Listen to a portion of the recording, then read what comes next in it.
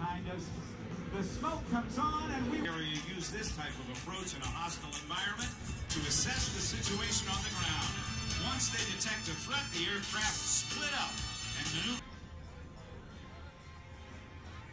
Ladies and gentlemen, the Geico Sky